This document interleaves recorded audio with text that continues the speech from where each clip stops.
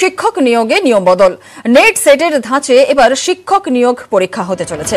নয়া নিয়ম শিক্ষক নিয়োগ পরীক্ষা এসএসসির আরও বিস্তারিত জানাবে আমাদের সঙ্গে রয়েছেন আমাদের প্রতিনিধি সোমরাজ বন্দ্যোপাধ্যায়। সোমরাজ। দেখো, মূলত শিক্ষক নিয়োগের আইনে বদল আনছে রাজ্য স্কুল সার্ভিস কমিশন ও স্কুল শিক্ষা দপ্তর। দু হাজার কুড়ি সালের যে আইন হয়েছিল, সেই আইনে বদল আনা হচ্ছে। নিয়োগে দুর্নীতি, অস্বচ্ছতা এই অভিযোগগুলির কারণে মূলত আগামী যে নিয়োগ প্রক্রিয়া শুরু করবে কমিশন সেই নিয়োগ প্রক্রিয়ায় স্বচ্ছতা আনতে এই বদল। যেটা কমিশন সূত্রে খবর নেট সেটের ধাঁচে অর্থাৎ ইউজিসি যে নেট পরীক্ষা নেয় কলেজের অধ্যাপক মান যাচাইয়ের পরীক্ষার জন্য বা আমাদের রাজ্যের কলেজ সার্ভিস কমিশন যে সেট পরীক্ষা নেয় সেই ধাঁচেই এবার স্কুল সার্ভিস কমিশন পরীক্ষা নেবে। মোট দুশো নম্বরের পরীক্ষা হবে তার মধ্যে এই দুশো নম্বরই ওএমআর শিটে হবে। দু হাজার কুড়ি সালের যে আইন ছিল সেখানে বলা হয়েছিল কোনো ইন্টারভিউ হবে না কিন্তু সেই ইন্টারভিউ ফিরিয়ে আনা হচ্ছে। পাশাপাশি রিক্রুটমেন্ট রুলস এবং কাউন্সিলিং রুলসেও একাধিক পরিবর্তন আনা হচ্ছে।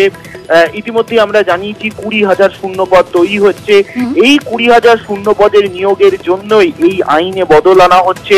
শীঘ্রই এই নিয়োগের বদল করে যে নয়া আইন বা নয়া রুলস তা কমিশন বিজ্ঞপ্তি আকারে জানাবে এমনটাই কমিশন সূত্রে খবর। ধন্যবাদ সোমরাজ।